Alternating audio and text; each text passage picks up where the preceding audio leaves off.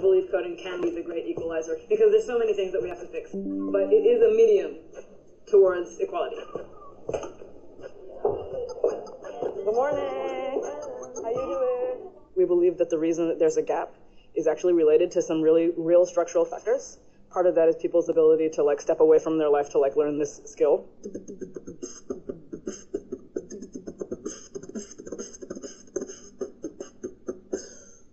We had 425 applications. We asked folks to talk in that application about how they saw themselves as part of a community that was underrepresented in the tech movement, and then talk about how they would use apps to improve the condition of those communities. Show you a shortcut. So all of them are people of color. Nine of 12 are women.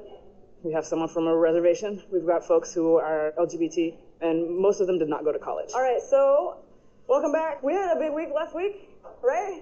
Fun.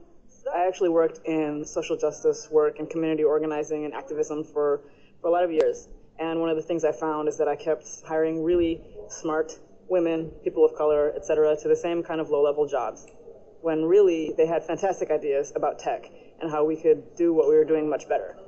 I built a lot of our own software and tech on the fly just because I had a programming background. And I thought we should do something about that situation and that the folks that all of this kind of work is trying to reach out to, the communities it's trying to impact, those people should be the people who are making decisions and making tools and being part of the actual design rather than just the users and consumers.